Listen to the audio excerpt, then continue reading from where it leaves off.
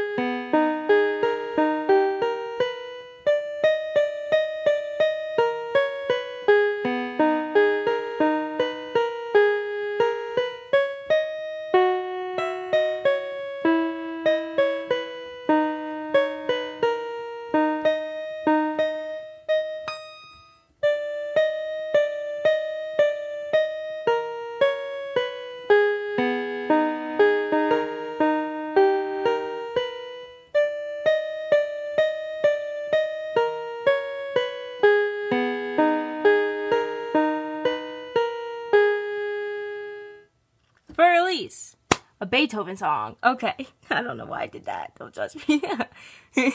okay, now I'm gonna be playing Axel F.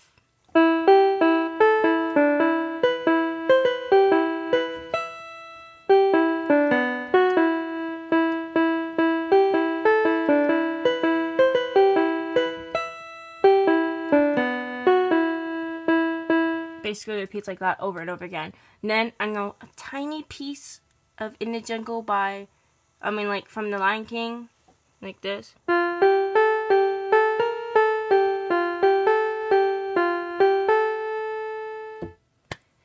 Person who was teaching me uh, kind of left when she just started teaching me that. Didn't get teach me any farther.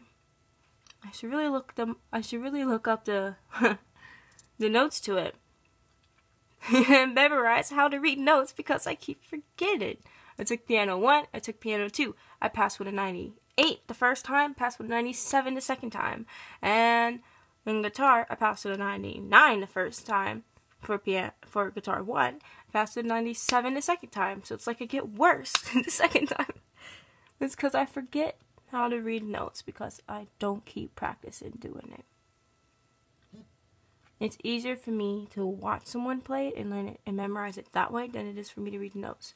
Takes me one or two tries doing it that way. By the way, uh, that's the end of this video. Peace out.